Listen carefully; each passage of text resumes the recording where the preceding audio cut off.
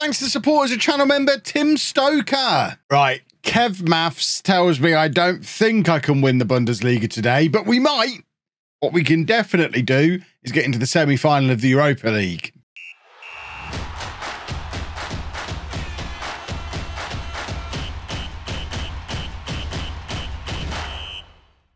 Hello, welcome to Club 6, Part 9 of Non-League to Legend. I'm Kevin. Coming up on today's episode, we have our second leg of our Champions League quarter-final against Galatasaray. And we're also facing Bayer Leverkusen in the Bundesliga. Since you were last with me, we've just played the one game, Nuremberg, in the league. We beat them 2-0. This is what Bundesliga looks like. Four games to go, I think. Yeah, four games to go. We are four points clear of Leipzig and we are eight points clear of Bayern Munich. So we are now qualified for the Champions League for next season. We still have to play Leipzig in one of our remaining games. We face them away from home on the penultimate game of the season. It would be nice to have things wrapped up before then, but we are relying on other results to go our way to get things wrapped up before then. But because we've now qualified for the Champions League, the board have given me my budgets for next season, and all those you, all of the, all of you saying I'd ruined this club's finances. They've given me 133 million pounds to spend and further increased the wage budget. So, should we go and sign Sergio Delgado? What's the worst that could happen? Hey, look, we've still got all this money in the bank. We are loaded.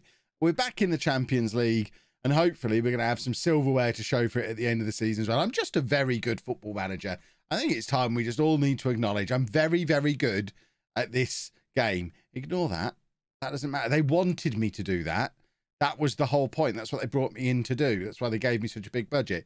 They wanted to invest that in order to have the results that hopefully we're about to deliver to them. So the game against Galatasaray is up first. This is the team we are sending there to defend our 5 0 lead from the first leg. We've got Diego Henrique in goal, a back four of Locatelli, Stewart, Diego Norberto, and John.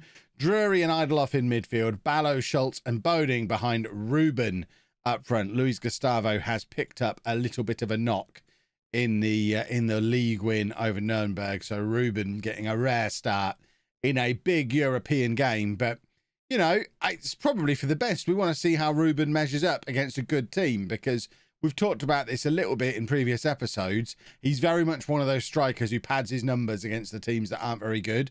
So I think he's on like 18, 19 goals for the season. It looks like he's come in and been great for his 95 million pound fee that we spent on him.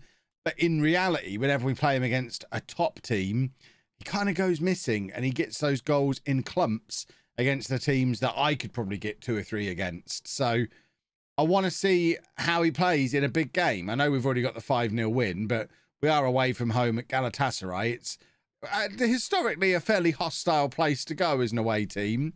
So if he can put in a performance today, grab himself a goal or two, then maybe we can focus our efforts elsewhere when it comes to our summer spending. Uh, like a midfielder who can tackle, for example. That might be a novelty. Uh, Ballo continues his run of scoring every time the cameras are on.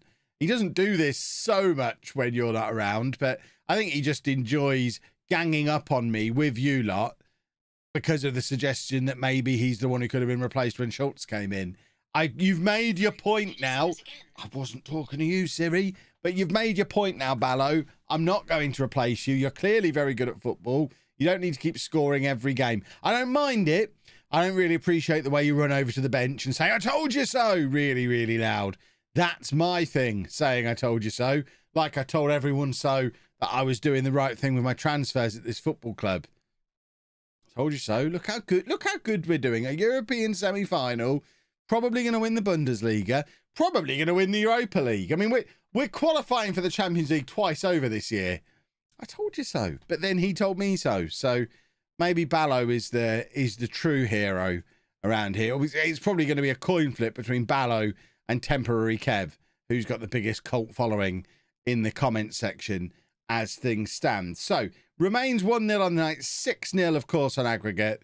Uh, we're probably going to start freshening some uh, some legs up in the next couple of minutes. We'll let this highlight play out and then we'll make some substitutions, get some of the more tired players off. They've come here, they've done the job they needed to do. We've got this big game at the weekend against Bayer Leverkusen, which is must win. They're a team that are trying to get into the Champions League in their own right. And we, of course, want to be in a situation where we can go to Leipzig at the end of the season, not really caring about what happens as a result in that game. Um, so in order to get there, I mean, that's two terrible pieces of defending. John trying to head a ball he was never going to get to, and then Diego Norberto, who is just sliding away Homer Simpson reversing into the Bush style because his contribution there was terrible. I understand why he's just fleeing. It's been disallowed, and now he's going to wander back into position. Fair enough. Terrible defending from both of them. We got away with it. Right, we are going to bring on Thomas Muller, not that one, to play right back.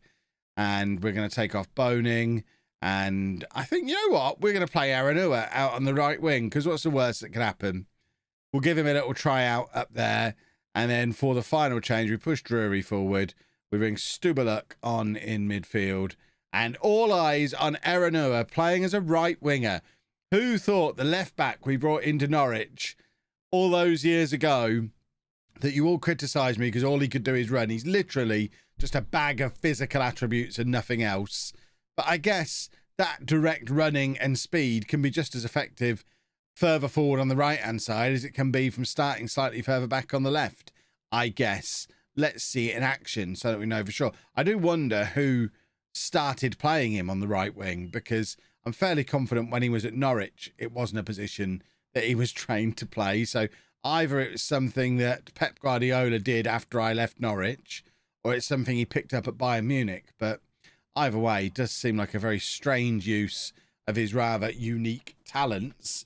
Uh, we have conceded a goal here. 1 1, 76 minutes on the clock. I'm not going to get too stressed out about it because obviously we're going to go through anyway because of how well we played in the first leg. I am a little bit wary though that this is still pretty much a full strength team. We've made a couple of substitutions, but the last thing we wanted uh, was uh, a defeat of any kind to mess up our run of good form on this running. But Ballo is there again, proving his point again. 2 1. Ballo, of course, gets both goals. I'm I'm even coming round to thinking he's a bit of a hero at this point because he just keeps doing it. And like I say, it's only when you like hear, it's only when I'm talking. It's like he he hears the sound of my voice and it just acts as an excellent motivator for him. But when I'm not there, he's not that bothered. When it's just me sat in silence in my underpants playing the in-betweeny bits.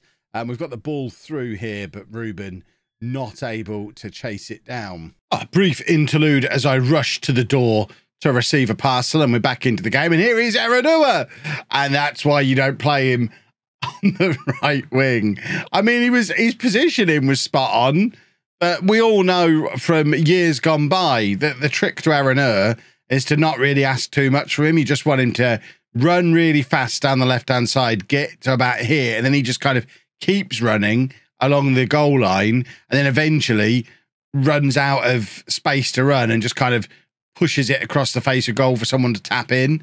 That's that's always been his party trick, and you can't really do it when you're being asked to play a little bit more centrally, like he's going to be playing as an inverted winger, if any, or an inside forward. If anything, he'd probably be better off playing as a winger on the left hand side because then he could do his usual job. That's a lovely pass from him, though. Maybe I've been a little bit too hard on him. Ballo getting in, looking for the hat trick, but unfortunately wasn't able to get the shot away. The goalkeeper collects comfortably, and here's Aranua again running. The, I mean, I thought for a second there he was going to head the wrong way. He found himself facing back towards our goal on what would have looked at him like the left hand side of the pitch.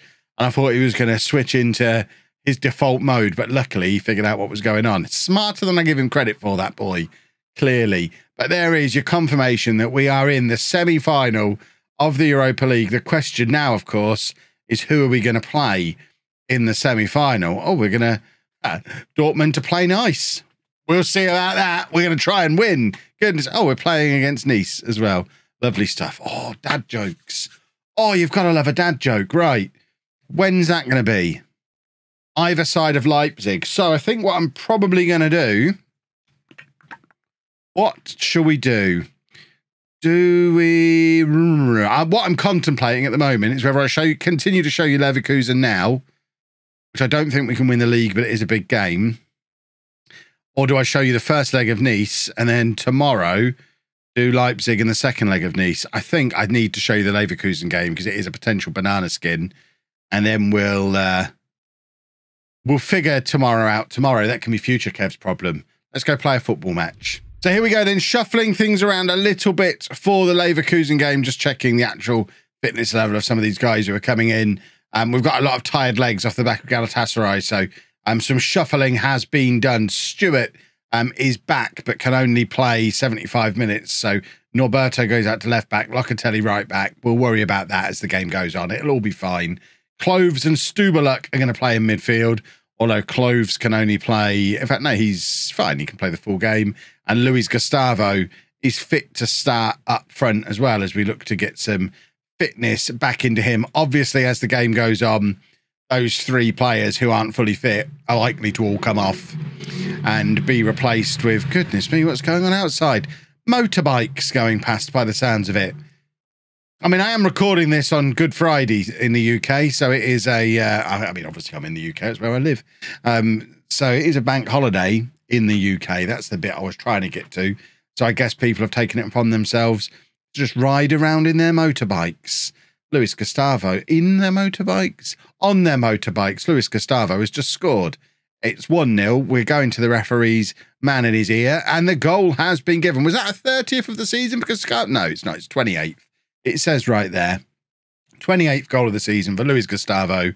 Um, and that, as it stands currently, leaves us six points clear at the top of the league. Leipzig currently drawing nil nil at home to Cologne. This is going to be an interesting one if they drop points. That's not, I mean, that that's not ideal. I said a potential banana skin. I didn't actually want any banana skinning to be done. Um, they've beaten us at our own game, a set piece, a corner, a far post in swinger. Henrique left flapping a little bit, and uh, we are pegged back to 1 1. It's still nil nil between Leipzig and Cologne. We don't really care what Bayern Munich are doing. They're 2 0 up against 10 man Freiburg. They're going to rattle in some goals today, but they're so far behind. I don't think it really matters what they're doing. But it does matter what we do. We really need the three points here because, like I say, I want to go into that Leipzig game knowing that it doesn't really matter. To be fair, if they draw as well today, we still find ourselves potentially heading into that situation. But all of a sudden, they're 2 0 up. Just like that, they're 2 0 up. The, the gap is down to two points. And remember, we face Leipzig away from home the game after next in the league. This is not how we want. If we don't win Bundesliga from here, I'm going to be a little sad about it. So we really do need to find our winning goal somewhere in this final 20 minutes so. We're going to make those pre-arranged changes as well. So Ruben can come on for Gustavo. Uh, is going to come off for Aranua. And for our final change, it was Cloves who had to come off, wasn't it? Although to be fair, these three are looking much more tired. So I'm actually going to bring on Drury for Schultz, um, just as the uh, the mo the best player sat on our bench. Let's get him on and see if we can uh, grab a goal. Ballo and Boning have been terrible today. 5.9 and a 6.4. I've never known Ballo play so poorly. Maybe we'll replace him with Schultz, eh? Wouldn't that be a thing? Uh, there's Drury, lovely pass through to Boning, and it's chaos at the back. And I mean, it's led to a goal. It is the most absurd goal you'll see on YouTube this year, I think. Boning just being a nuisance.